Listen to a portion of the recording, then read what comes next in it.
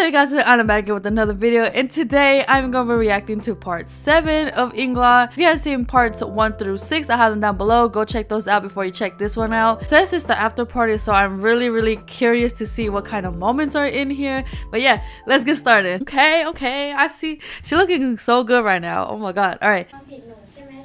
Cut it out. Oh, Charlotte's over there. Okay. Oh my god, I like that. Okay, okay. Congratulations. Okay. Ooh.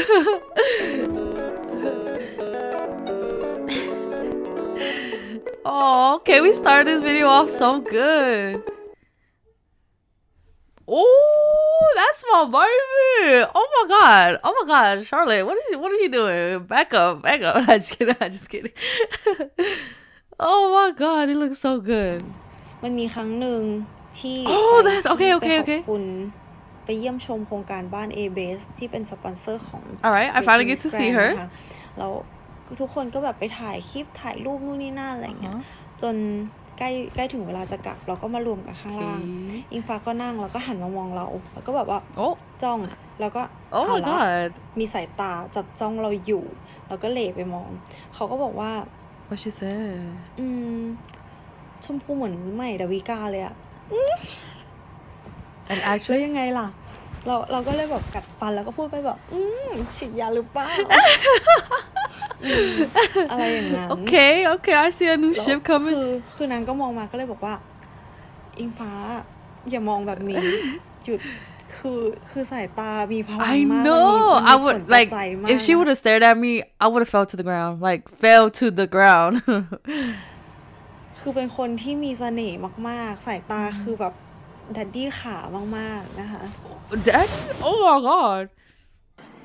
มันปังถูกแล้ว เดี๋ยวนี้ก็น่าเจอกันนี่ให้คนอื่นถูกตัวเองไม่ถูกเลยอะ เจ้าแม่น้ำฟ้า She's so good looking. It's uh, it's not even fair. It's not even. Oh my gosh. Oh my gosh, she looks so beautiful. Wow. Wow. Oh, oh my god. Okay. Okay.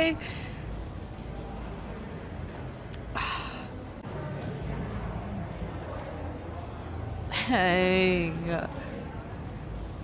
Oh, okay, let's go. Oh my, the way she's just walking, like, it's incredible. Oh my god. ฟังกันต่อเลยนะคะ Next song, next song. What you เพลง mean? นี้ขอ The song I มอบ like ให้ to กับ sing, uh, I like to sing ไม่รู้ for. ว่าอยู่ Oh หรือ no. เปล่า Oh my god. Oh my god. Stop. สวัสดีพี่กุลค่ะ สวัสดีครับ มีคำถามนะครับ ถ้าเกิดว่ามีแบบผู้จัดเนี่ย ติดต่อมาจะให้น้องอิงฟ้าเล่นละครกับน้องชาลอตนะครับ Oh my god. Let's go, series. Oh my god, that'd be so fun. ไม่รับเหรอครับไม่ปฏิเสธค่ะ oh my god, I cannot wait. ว่าโดนแฉเรื่องติดสัญญา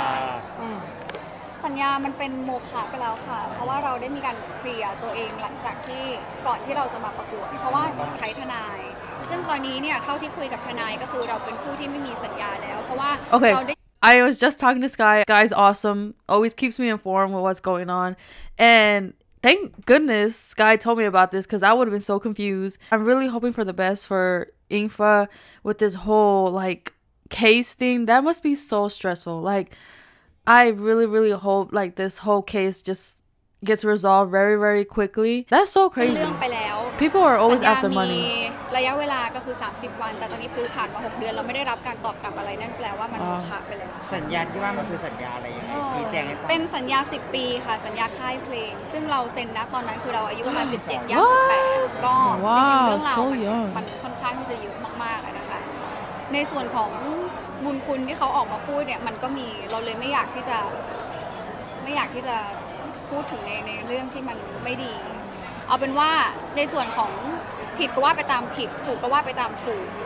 ใช่ค่ะ ก็เดี๋ยวรอทางทางเขาออกมาชี้แจงออกมาว่าเอ่อออกมาพูดแล้วกันว่า See, ว่าจะเป็น I obviously I reacted to a bunch of like K-pop, so I know like I know a little bit of the K-pop contract. I wish they have a minimum of how many years you can be with the company before you have to renew again. Like 10 years and she signed when she was 17 or 18. Like 10 years that's so crazy i un- i kind of understand like the business side of why but like it kind of sucks for the person that signed the contract because you just never know what's going to happen in the future and 10 years is a long long time to stay with a company แต่ว่าทางเราก็คือเราพร้อมอยู่แล้วในเรื่องของกฎหมาย เพราะ ว่าเราก็มั่นใจในส่วนของเราว่าเราเคลียร์ไปแล้ว แต่ว่าเขาไม่ได้ตอบกลับอะไรกลับมาแต่แต่ในที่เขาโพสต์ล่าสุดอิงฟ้าคือเขาอธิบายเป็นขั้นตอนเลยว่าคือก่อนหน้านี้อิงฟ้าเองไปประกวดร้อยก็ไม่ได้มีการแจ้งเขารวมไปถึงการประกวดมิสแกรนด์คือแสดงว่าเหมือนในข้อสัญญามันมีการตกลงกันไว้ไหมว่า ถ้าเกิดคุณอยู่ค่ายฉันเนี่ยสัญญากับฉันคุณไม่สามารถไปทำอย่างอื่นได้เลย คือจริงๆเนี่ยมันค่อนข้างที่จะละเอียดอ่อนอย่างที่บอกว่า โอเคเดี๋ยวเล่าให้ฟังก็ได้นะอ่าจะได้แบบมันจะได้เข้าใจกัน คือจริง ๆ สัญญาเนี่ยหนูเซ็นตอนที่อายุ 17-18 ตอนนั้นคือด้วยความที่คุณพ่อเราอะป่วยเป็นมะเร็งระยะสุดท้ายซึ่ง what i'm just um i'm just learning a lot and it's just been like four minutes in and we're learning so much right now that's that's crazy ความฝันของเขาก็คือเขาอยากให้หนูเป็นศิลปิน ก็ประจวบเหมาะว่ามีคนแนะนำเราว่า เรามาอยู่ค่ายเพลงนี้ไหมอะไรอย่างเงี้ยซึ่งเขามีบ้านให้เราอยู่พ่อแม่มาอยู่ได้แล้วก็มีเงินเดือนให้เรา ซึ่งณตอนนั้นด้วยความเป็นเด็กเราก็รีบตัดสินใจที่จะเซ็นสัญญาพอเซ็นไปปุ๊บเนี่ยหลาย ๆ อย่างมันไม่ได้เป็นไปตามที่ที่ตกลงไว้ แล้วก็พอเซ็นปุ๊บคุณพ่อฟ้าก็เสียทันทีพอเสียปุ๊บเราก็ย้ายไปอยู่กับเขาอะไรเงี้ยเรื่องการดูแลก็คือในส่วนที่การส่งเรียนหนังสืออะไรเงี้ยก็มีอยู่จริง อันนี้เรายอมรับว่า แต่ว่าใน part ของสัญญาที่เป็นในเรื่องของศิลปินเนี่ยมันไม่ได้เป็นอย่างที่ที่เราคิดแล้วเรารู้สึกว่าอยู่ในจุดที่มันก็มีความลำบากอยู่ในเรื่องของการเงินแล้วก็การเป็นอยู่ไม่ได้ดีอย่างที่เขาพูดนะคะ แล้วก็หลังๆมาคือเราเริ่มที่จะต้องทำงานเป็นพนักงานออฟฟิศกับเขา ซึ่งก็บอกตรงๆว่าเงินเดือนมันมันไม่พอที่จะ โอเคพอแหละสำหรับเราถ้าเราอยู่คนเดียวแต่ว่าเรายังมีแม่ที่ที่ยังต้องดูแลใช่ค่ะ แล้วก็เลยตัดสินใจที่จะเดินออกมา พอเดินออกมาเนี่ยก้าวแรกที่เราลำบากมากๆเลยเนี่ยเราไม่ได้รับการดูแลหรือช่วยเหลือหรือติดต่ออะไรกลับมาเลย หรือการสอบถามเราว่าเราเป็นอยู่อย่างไรบ้าง แต่ว่าวันหนึ่งที่เราคิดว่าโอเคเขาไม่อะไรแล้ว แล้วเราก็ไปประกวด The Voice ใช่ไหมคะวันนั้นคือเขาถึงแสดงตัวออกมาว่าเขาไม่โอเคนะ ณตอนนั้นก็คือเราก็ตัดสินใจที่จะจบการประกวด The Voice ไป ว่าเราโอเคเรายอมเขาก็ได้ เราก็คงจะผิดจริง ๆ ในตอนนั้นเราก็ขอโทษเขาแล้วก็จบไปแล้ว แล้วเขาก็แจ้งว่าเอ่อเราจะไปทำอะไรก็ได้ แต่ยกเว้นอย่าร้องเพลง wow ใช่ซึ่งเราก็เลยตัดสินใจประกวดนางงาม อ่าอ่าอะพอผ่านเวลาผ่านไปประมาณปีปีกว่าๆแล้วก็เลยตัดสินใจลงประกวดมิสแกรนสุพรรณบุรีก็เขาก็ติดต่อทางกองไปว่าเขาไม่อนุญาตให้เราประกวดนะอะไรอย่างเงี้ยซึ่งเราก็เลยสละสิทธิ์ไปแล้วก็ เราคิดว่าเราจะอยู่แบบนี้ไม่ได้เพราะสัญญามันนานมากๆนะคะ ก็เลยตัดสินใจปรึกษาทนายก่อนที่เราจะมาประกวดมิสแกรนกรุงเทพในปีนี้จนเราอายุ 27 แล้วเอ่อจริง ๆ ตามสัญญาก็น่าจะหมดตอน 28 แต่ว่าเรารอไม่ได้ เพราะว่าเราก็จะสามารถไม่สามารถที่จะประกวดนางงามได้แล้ว ก็เลยตัดสินใจเคลียร์กับทนายว่าโอเครายละเอียดมันเป็นแบบนี้นะ ซึ่งเรายืนยันได้ว่าตั้งแต่เราอยู่ที่ค่ายมาเราไม่มีงานร้องเพลงเลยไม่มีเลยสักงาน ที่เป็นรายรับเกี่ยวกับเรื่องของการร้องเพลง เจ้าของมีตัวเราหนูไม่รู้เลยว่าตอนช่วงที่หนูลำบากอะตอนหนูออกมาเขาไปเขาไม่เคยตามหนูเลยเขาไม่เคยไม่เคยวันที่หนูออกมา อยู่กับตัวเอง เลี้ยงตัวเองทำงานแบบลำบากมากกว่าที่เราจะแบบตัดสินใจไปประกวดรายการนู้นรายการนี้อะเราไม่เคยได้รับการช่วยเหลืออะไรเลย ไม่มีการติดต่อหรือแสดงความเป็นห่วงอะไรทั้งสิ้น แต่ว่าวันที่พอเราเริ่มจะเติบโตได้ด้วยตัวเองหนูต้องบอกว่าทุกวันนี้หนูมีหนูมี ทุกวันนี้ได้ด้วยตัวเองจริง ๆ ตัดสินใจกล้าที่จะเผชิญกับ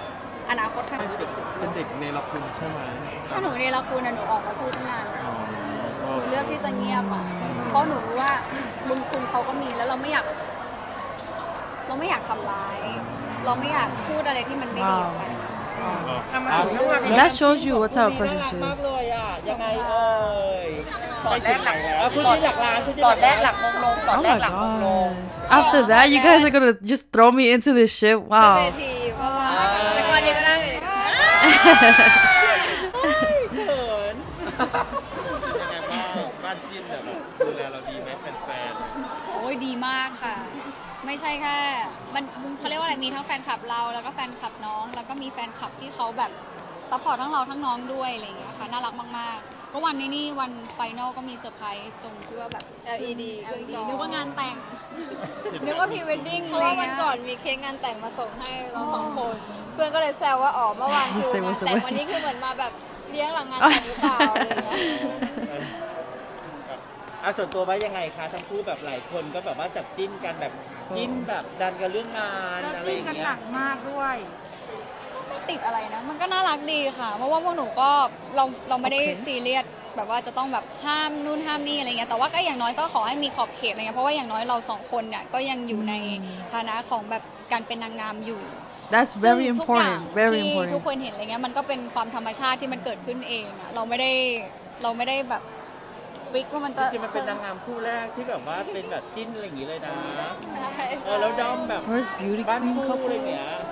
ก็ดีก็ดีที่แฟนคลับเขาเหมือนดันเราทั้งสองคน Yes, เรา we support เรา everybody. เราไม่ This ใช่ whole แค่เรา fandom ก็คือ supports literally เพื่อนๆกลุ่ม anybody. เราเขาก็แบบช่วยดันกันไปในทางที่ดีก็ต้องขอบคุณทุกคนตรงนี้ค่ะอีฟ้าเราเขินๆนะเวลาสัมภาษณ์คู่ชันหลอดเราไม่ค่อย Oh my god, why are you calling her out? อีฟ้ากับชาลอตใคร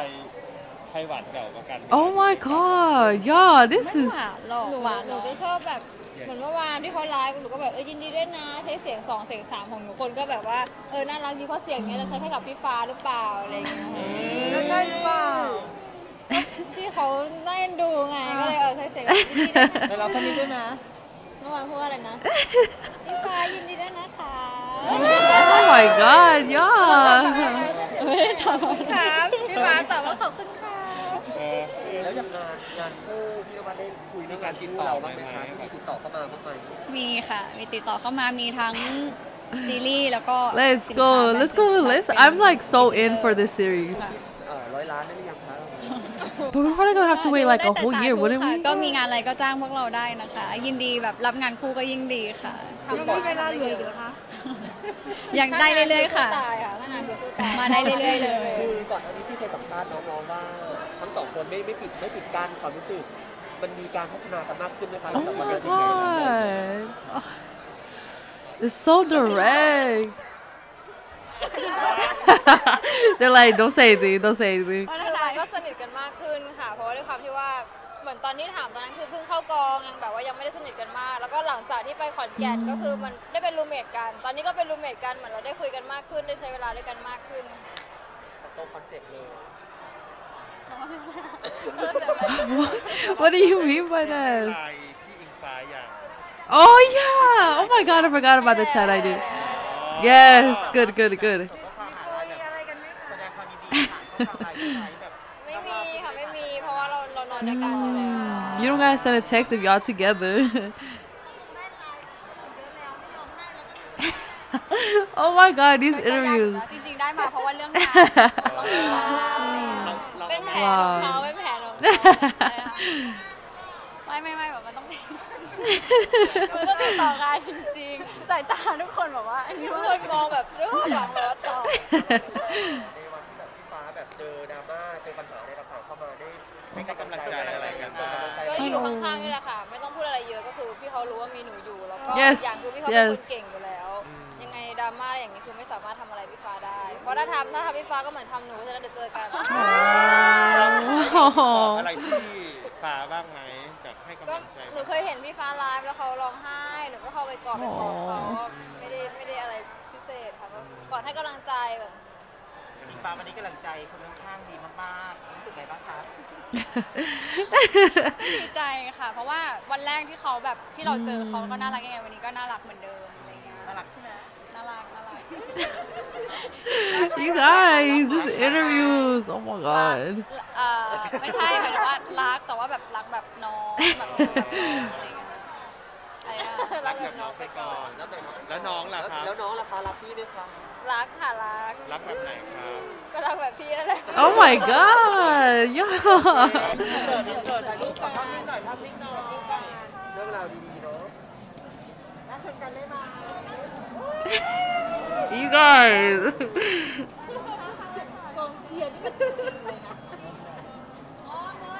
I love to. Oh my god, what is what is going on, y'all? Stop, stop. I love the support Charlotte is giving Infa in like her toughest times. Not only. oh ah, wow. These interviews, I swear.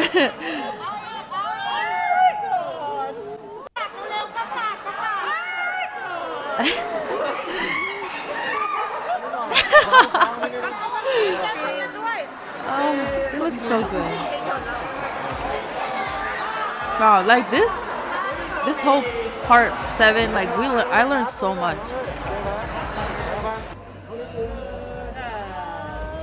อ่ะยิ้มยิ้มเออยิ้มยิ้มดูกล้องพี่ด้วยดูกล้อง So close. oh my god.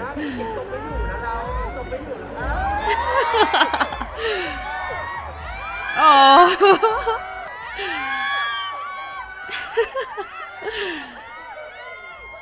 oh my god. For real. I think the reporters are like the biggest shippers. Wow. I'm so sad to hear about so many things. Like, first of all, I'm really sorry that Info's father passed away. I I didn't know. Then to learn that she has problems with her company, like wow. I've always been a fan of Infa. Like she I love the way she speaks. I love how like you can tell what type of person she is between these interviews. Like she really didn't even want to bad mouth them, even though like they don't even deserve her being nice to them after everything that happened. But that's just like wow, like there's just so much I I really cannot explain. Ingfa is so strong, like, and I'm so happy to hear that Charlotte is like supporting her through this tough times, and it's just like I swear the reporters are like the biggest shippers out there. Like, they're so direct, and it's like, you know, it's it's nice to see, you know, some questions, but sometimes you know it's a it might be a little bit too much for them, and I really do hope,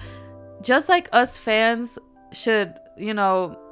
shit within limits. I feel like reporters should be within limits as well. But obviously, I know they're just trying to do their job, but it's kind of hard, you know, when reporters are asking you the same question with your like coworker, you know, like right now they're obviously friends and everything, but you know, they still have a job to do. They still have to work together and there's like mixed feelings anywhere. Like it'll be really really hard to work together in the future so i really really kind of wish the reporters would i hope they could filter a little bit what they say what kind of questions they ask them in the future. But overall this video was nice. I enjoyed it. We learned a lot of things about them. Um i honestly wish ingfa the best with her whole contract thing. I really wish her the best and I hope for a good outcome between it. It's just so sad to hear. I'm so happy she has friends surrounding her, you know, supporting her. And I hope Ingfa knows that she has all of us to support her, you know, through bad times, good times. We're always here to support her and Charlotte and all the other contestants. I like how this video showed a little bit more than just like shipping. Gave us like what they're going through, like in their life right now. So i really do appreciate that because um after all like after we're shipping them and everything they're still humans. They have a lot of stuff going on behind the scenes and i just really really wish ingfa the best with this situation. And yeah if you guys like this video give it a thumbs up. Comment down any more videos you guys want to see. And don't forget to hit that subscribe button. And that's it. Bye guys